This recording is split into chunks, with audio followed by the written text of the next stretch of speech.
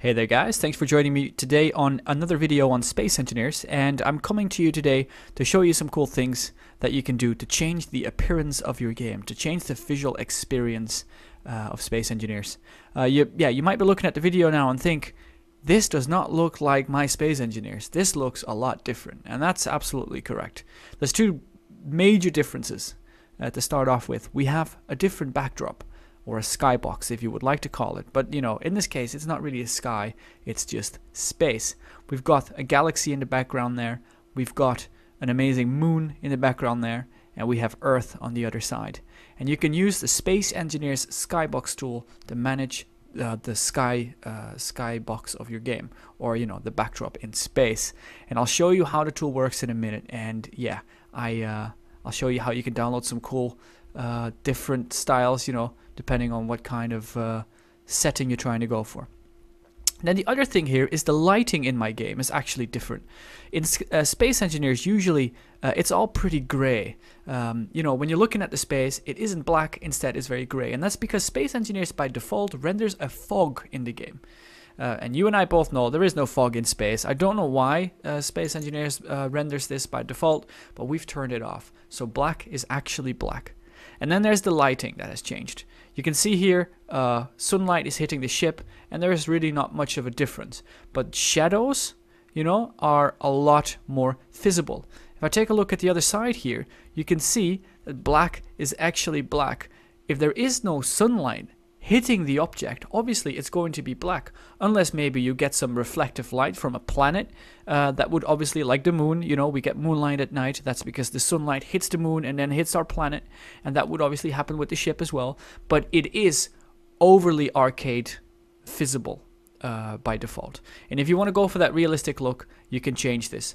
And we do that with the Space Engineer Skybox tool as well. And that's really, really cool you know there's a couple of different settings that you can uh, that you can switch between in case you don't want to go for full black uh, darkness but you want it to be a little bit more realistic uh, you can flick about with these things as you please.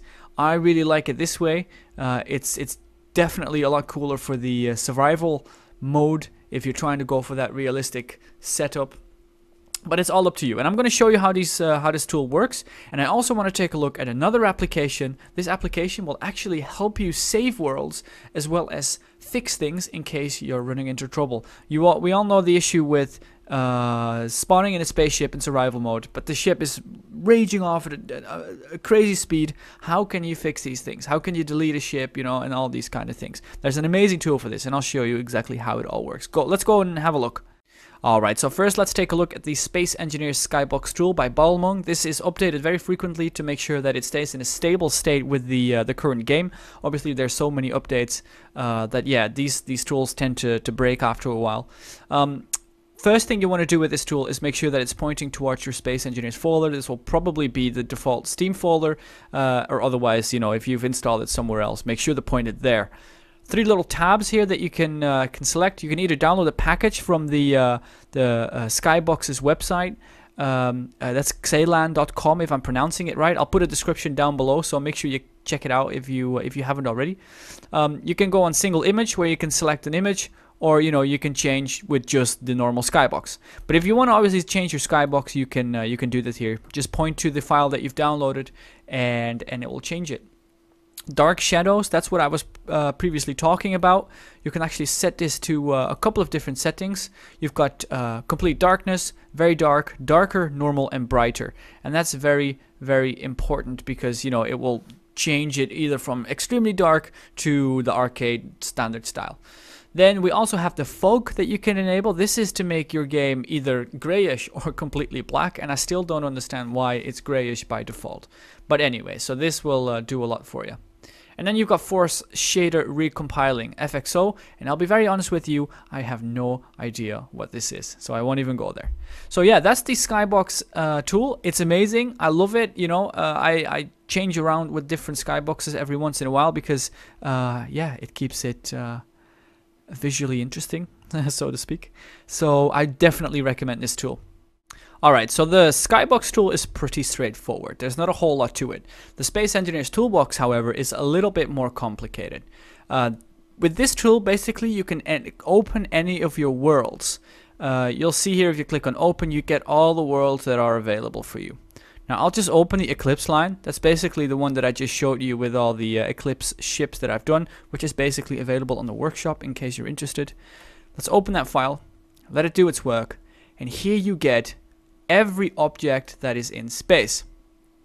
Uh, sometimes you'll find an object or you lose an object or you've got a cargo ship somewhere 200 million thousand kilometers away and you're trying to get rid of it but you can't because it's too far away and basically you want to delete it well you go in this list you can select the item and you can uh, choose to delete it. Or if you want to make some changes to it, you can do that. You can change the coordinates, the speed, uh, you can mirror it, you can do all these things, and this will definitely save your life. Now, in case you want to know, okay, which ship is which, you can just have a look here at the components and make sure, oh yeah, this is the ship with the uh, the two small reactors. You know, um, you can also add a beacon, and then basically uh, the small ship will be called the name of the beacon instead. You can see that right here. My large ship, uh, my large ships have the beacons on it, and obviously that is uh, how you can identify them. So in case you want to delete something, but then again, if something is flying very far away, you won't be able to put a beacon on it. So you'll have to go through these and just hopefully be able to find, oh yeah, with these components, this must be the standard rescue ship. Just delete it. Make sure you make a copy of your save uh, to make sure that you're not ruining anything. I would really suggest that because I don't want to be responsible for you ruining your worlds. Hopefully by putting this video out there, you will, you know, uh, have a, a, better idea of what exactly uh, uh, these tools do and how they work and where you can get them. So again, look down below in case you are wanting to download one of these because I'll make sure that you can get the link below. And yeah, I'd like to thank you for watching. Take a moment to uh, check out some of my other videos. I'll uh, I'll put a link up behind uh, behind this video footage uh, for my survival uh, series and some other couple of things. In case you haven't subscribed yet, take a moment to subscribe. I'd really appreciate it, and hopefully, you know, I can entertain you a little more with some other videos. Like the video for me if you if you enjoyed it and if it's uh, if it's helpful to you. And yeah, share it to your friends, and maybe they can uh, find this helpful. Thanks for watching, and see you next time.